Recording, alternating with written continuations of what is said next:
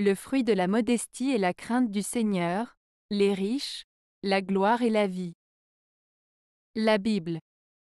Cette citation de la Bible signifie que si l'on est humble et modeste, cela engendre la crainte et le respect envers Dieu, tandis que si l'on est riche et orgueilleux, cela peut conduire à la gloire et à une vie luxueuse mais sans l'approbation divine.